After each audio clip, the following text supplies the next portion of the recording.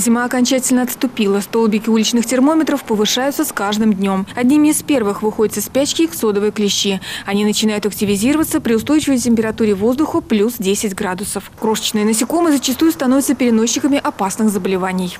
Иксодовые клещи передают такие инфекционные заболевания, как клещевой вирусный энцефалит, клещевой боррелиоз, тулеремия, эрлихиоз, анаплазмоз и многие другие. На территории Сарова специалисты фиксируют только клещевой боррелиоз. Эта бактериальная инфекция успешно лечится антибиотиками. Но чтобы не стать жертвой опасных насекомых, перед посещением леса нужно правильно подобрать одежду.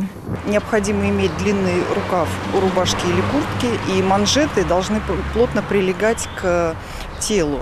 Брюки по возможности нужно заправить а, в сапоги или носки. Одежду лучше выбирать однотонных и светлых тонов. Дополнительным средством защиты от укусов служат различные отпугивающие спреи и лосьоны. Репелленты обладают специфическим запахом. К тому же обработанная таким образом ткань сохраняет свои свойства несколько дней. В нашем городе клещей на наличие антигенов не исследуют. Прием насекомых на такой анализ проводится в лаборатории особо опасных инфекций Центра гигиены и эпидемиологии в Нижнем Новгороде. Елена Грицкова, Константин Островский, Владимир Листик, служба новостей Саров 24.